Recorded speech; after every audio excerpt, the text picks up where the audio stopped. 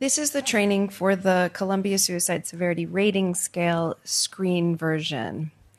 Why is this important? The fact is, suicide is one of the world's major public health epidemics, a leading cause of death across the world, across ages, number one cause of injury mortality in the US. Every 15 minutes, somebody dies by suicide in, in the United States. Leading cause of death in corrections among police. It's a crisis no matter where we're looking. The good news is it's actually a preventable, or probably our one preventable cause of death. But prevention efforts depend upon appropriate identification and screening. The Columbia Suicide Severity Rating Scale has had extensive use across the world. It's available in 103 languages. It's appropriate for use across the lifespan, all special populations. It's been adopted by CDC. It takes very little time. It has um, very excellent patient satisfaction and feasibility, and it's also been associated with reduced burden and cost in hospital settings and, and beyond, redirecting of resources. Who can do it? Basically, anybody. You do not need to have mental health training to administer this scale. 812 nurses were trained at one hospital system and they got 99% reliability, independent of mental health training, even independent of education. What does that look like in a behavioral health care setting? Peer counselors, paraprofessionals, professionals, nurses, nurses' aides, etc. In other settings, it's every type of gatekeeper, first responders, coaches, bus drivers. Come on.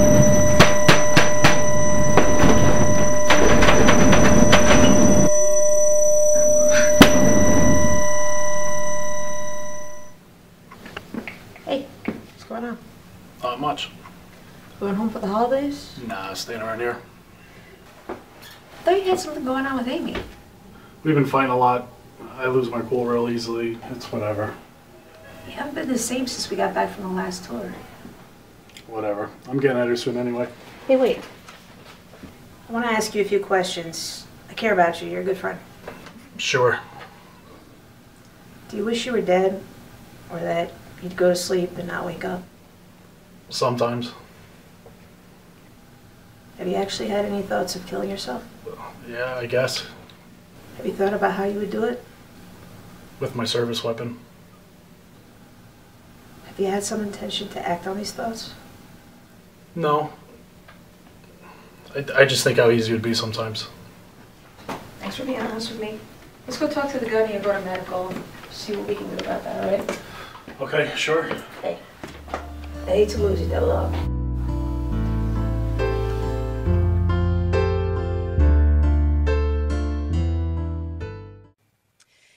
This is represents the range of users across the world, or people who are about to use it. Um, it's on the Joint Commission best practice list. Israeli Defense Force, police departments, fire departments, inpatients, outpatients, emergency departments, general medical and psychiatric, homeless, crisis negotiation, employee assistance programs, you name it, basically. And they've started to, to come to us. And we work with many counties and states and beyond. And one of the first states in the US made this very important point about the linking of systems. When you're doing the same thing, inpatient, bridge, outpatient, community, it's going to quicken care to the people who need it. Another state made a point it's so important that the school nurse is going to be doing the same thing as the EMT as the hospital. Now, people often assume that when you start to ask these questions across every patient or every kid in a school, you're going to increase burden. But actually, the, the data is pointing in the opposite direction, that it's actually reducing burden. This is a one example from Cleveland Clinic that went policy a while ago. And when they relied on their question, the one question from the PHQ-9, that question resulted in 23.8% positive screens versus 6.2% within a, a, few additional questions on the CSSRS, and they found cases that would have otherwise been missed. So it's a great example of the win win nature, dramatic reduction of false positives while uniquely identifying. Another example this is 14,000 obesity patients. When they relied on spontaneous reports, not asking the questions systematically, using that PHQ 9 question, they got 452 occurrences. When they moved to asking what we think are the right questions with the SSRS, they got 12 while we're reducing burden, we're also hoping that we're helping to prevent. This is a quote from the president of American, the American Psychiatric Association saying that because of this work or this scale, we may actually be able to make a dent in the rates of suicide that have existed in our population and have remained constant over time. Now, what is it simply? Simply, it's a one to five rating for suicidal ideation of increasing severity. It can be as little as two questions for ideation. For ideation, there's always these two screen questions. Somebody gets asked, Have you wished you were dead, or wished you could go to sleep and not wake up, or have you actually had thoughts of killing yourself? If it's no to both of those questions, you move on to behavior. Behavior on this scale, for the first time, covers the full range of behavior. It used to be that a patient or a person would be asked only about a suicide attempt, and then you miss the person that bought the gun yesterday, or put the noose around their neck and changed their mind, or wrote the suicide note. Things we absolutely cannot afford to miss. And it's the first thing with definitions and standardized questions for each category to guide the easiest and most improved identification. Now, speaking to the full range, this is 35,000 non suicidal depressed adult administrations. Now, the good news is the worrisome answers, the high risk answers, are very rare, only about 1%. But it's very important to more precisely identify those people at higher risk. So, so look at those numbers. Only 13% of that 1% or 70 were actual suicide attempts, and all the rest, almost 500, were these other behaviors that we were never asking about before. And we now have data showing that each one of those behaviors is basically equally predictive to as as a suicide attempt. One of the fundamental tenets of this scale is that you can rely on multiple sources of information. You don't have to only rely on the person in front of you or the person that is identified that you're, you're trying to assess. For example, if you're monitoring somebody outpatient and their spouse calls you up and tells you that they're in the ICU in a neighboring state and this is what they wrote in the suicide note, you will have enough information to check off a suicide attempt on your form. Teachers, first responders, parents. This is a good example, another example from a hospital or an ER. A loved one brings a family member into the ER. The patient denies suicidal thoughts, but the family member shares with you that he has been talking about suicide for the past two years, wrote a note yesterday, and that's why he's here in the ER. So here you're getting the answer on the SSRS screener from the loved one. Now, this is the core of ideation for this scale. It's that one through five of increasing severity. Again, starting with a wish to die. Have you wished you were dead or wished you could go to sleep and not wake up? Or have you actually had any thoughts of killing yourself? No to those two screen questions. You move on to, to the behavior question. However, if it's yes to this second question, have you actually had any thoughts of killing yourself? Then you ask the next three questions three, four, and five. Have you been thinking about how you might do this? Have you had these thoughts and had some intention of acting on them? Or have you started to work out or worked out the details of how to kill yourself? Do you intend to carry out this plan? You can't have methods, intent, or plan an intent if you don't have a thought of killing yourself. That's why three, four, and five are subcategories of two. So tell me, what brings you to see me today? I've been feeling kind of crummy, uh, problems with my family, and, and, and, things at work aren't going so well. Hmm. Have you been feeling depressed? No, I've been crying a lot, and uh, it's hard to get out of bed in the morning. Uh, I guess you could say I'm depressed. I see. So tell me, over the last month, have you wished you were dead or wished that you could go to sleep and not wake up? Sometimes I think things would be better if I were dead. Hmm. I understand. But do you actually wish you were dead or want to be dead? Now and then, yeah. And have you actually had any thoughts of killing yourself? Yeah. And have you been thinking about how you might kill yourself? Sometimes I think uh, about jumping in front of a, of a train or a bus. But you wouldn't really do that though. No way, no way. See how asking the wrong question can shut down the conversation? Watch now how asking the right questions using the prompts on the CSSRS can get you more accurate information. Sometimes I think that I'll jump in front of a train or a bus. Hmm. Have you had these thoughts and had some intention of acting on them? Yeah. Can you tell me a little more about that? Last week I, I really wanted to do it, but, uh, but I chickened out. Okay, so have you started to work out or worked out the details of how to kill yourself? No, nothing specific. Thank you for being so honest with me. Thank you. So, in the example you just saw, the answer circled would be a 4, intent only, not intent and a specific plan. In this next example, a 5 would be indicated. Watch. Sometimes I think that I'll jump in front of a train or a bus. Well, have you had these thoughts and had some intention of acting on them? Yeah. Can you tell me a little more about that? Last week I really wanted to do it, uh, but I chickened out.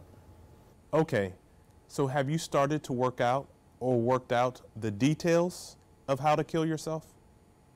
Yes. Uh, I got a subway schedule and I saw that there's a station that between 7 and 8 o'clock at night, there aren't many people there, and that's what I was going to do. Well, do you intend to carry out this plan now? I worry that I might. Okay. Thank you for being so honest with me. We're going to get you some help right now. Thank you. You see, it would be a 5 because he had intent and a specific plan with the intent to act on it, all the details worked out, etc. So, this is what the screener looks like. If question two is yes, then you ask three, four, five, and six.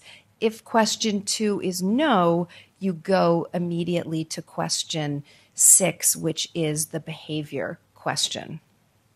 We received a 911 call from a woman named Joan who said she was upset and afraid she might kill herself, so I was dispatched to her location.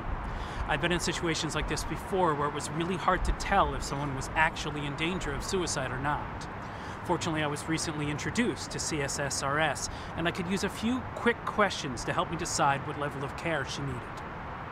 Hi, are you Joan? Uh huh. I'm glad you called us. We're gonna get you some help, okay? Okay. I'm going to ask you a few questions about your thoughts and behaviors over the past few weeks to help us better understand how to help you. Is that okay? Okay. Am Am I gonna have to go to the hospital? Let's just get all the information about what's going on first, and then we can talk about that. All right? Okay. Good. Have you wished you were dead or wished you could go to sleep and not wake up? Yeah. I I wish I was dead right now. Have you actually had any thoughts about killing yourself? No, no, I would I would never do that. Okay. Have you ever done anything?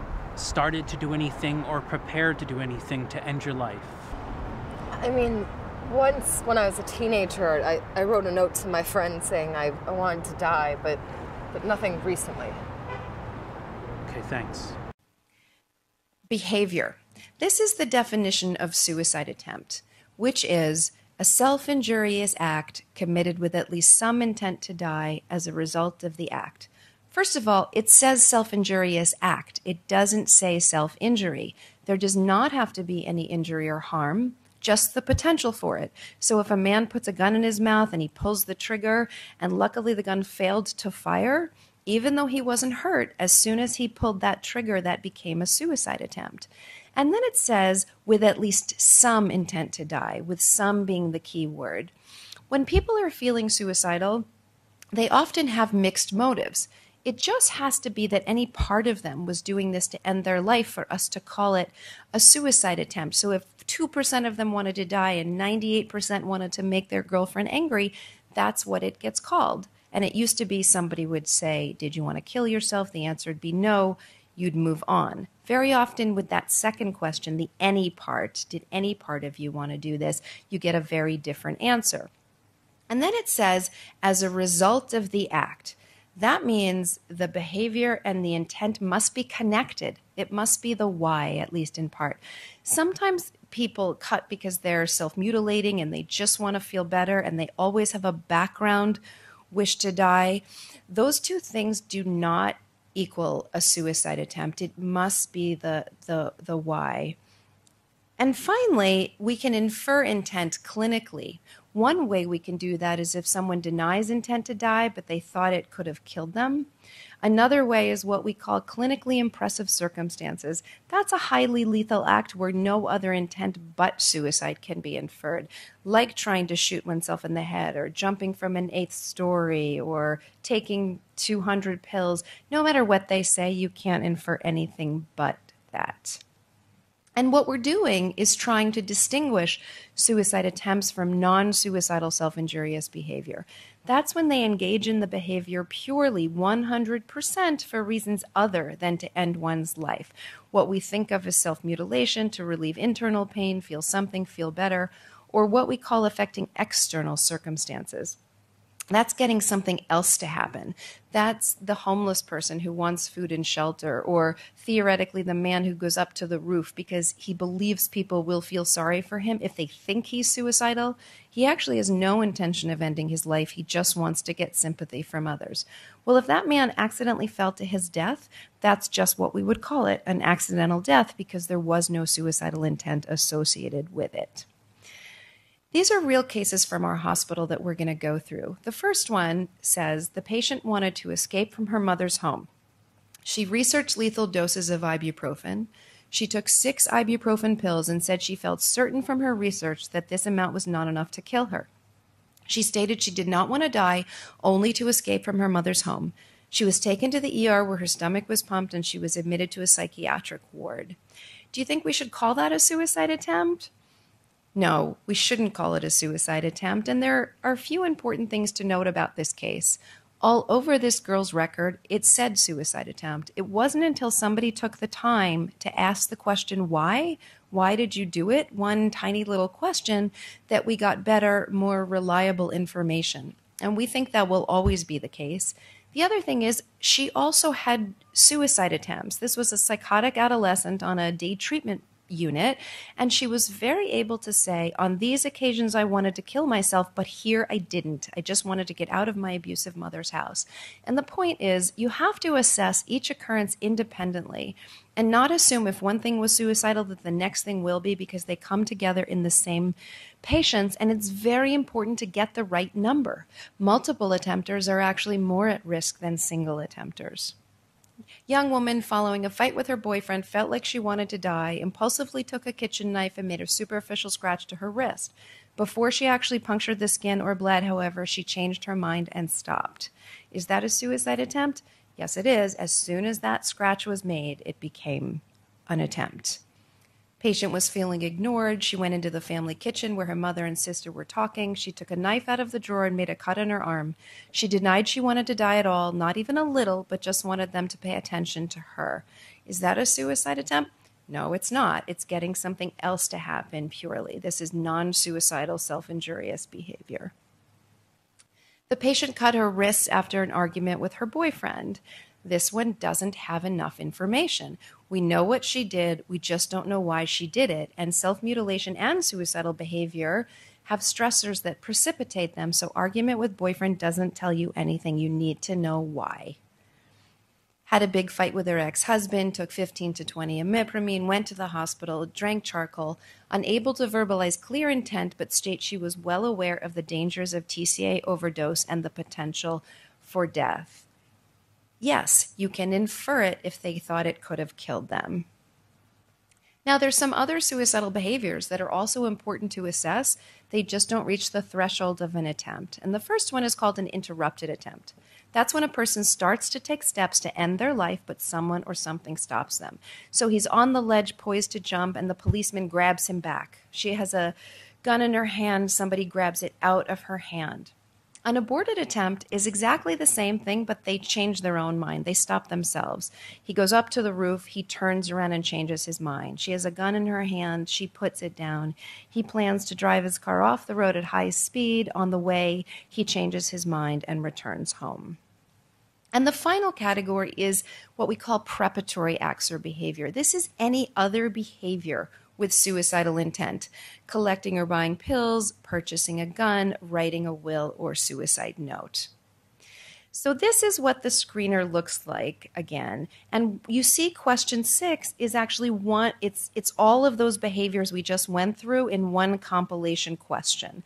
Have you ever done anything, started to do anything, or prepared to do anything to end your life with many of the examples that we just went through. So you know whether they've had an attempt, interrupted, aborted, or preparatory behavior in one question.